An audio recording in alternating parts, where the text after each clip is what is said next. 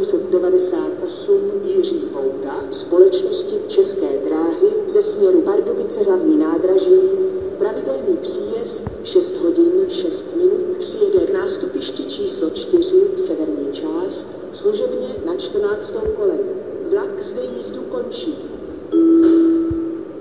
Osobní vlak číslo 9902 Link S7 společnosti České dráhy ve směru Řepnice odjede od nástupiště číslo 2 jižní část. Pravidelný odjezd 5 hodin 57 minut. Na nástupišti číslo 7 jižní část ukončete nástup do spěšného vlaku číslo 1381 společnosti Arriva ve směru